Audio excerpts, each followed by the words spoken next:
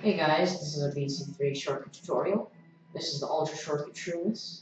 You get your mini turbo here. You aim where I'm aiming. Hold down on the analog stick.